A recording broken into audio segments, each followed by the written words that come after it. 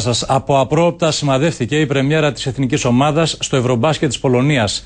Η Ελλάδα ναι με νίκησε εύκολα τα Σκόπια 86-54, αλλά αυτό που σημάδευσε τον αγώνα ήταν η αναγραφή του ονόματος των αντιπάλων μας ως Μακεδονία στους τηλεοπτικούς δέκτες στον πίνακα του σκορ του αγώνα όπως ήδη βλέπετε. Οι Πολωνοί διοργανωτές χρησιμοποίησαν λοιπόν στη τηλεοπτική μετάδοση τα αρχικά MKD για τα Σκόπια στο μεγαλύτερο μέρος του, του πρώτου ημιχρόνου. Την ίδια ώρα, την ώρα που ηχούσε ο εθνικός ύμνος της Ελλάδας, Σκοπιανοί οπαδοί κερκίδες προκαλούσαν με σφυρίγματα και αποδοκιμασίες. Αντίθετα με τους Έλληνες που σεβάστηκαν την πλευρά τους στον ύμνο των Σκοπίων. Ξετύλιξαν μάλιστα στις κερκίδες και μια μεγάλη σημαία με τον ήλιο της Βεργίνας, επιχειρώντας όπως συνηθίζουν να δημιουργήσουν εντυπώσεις.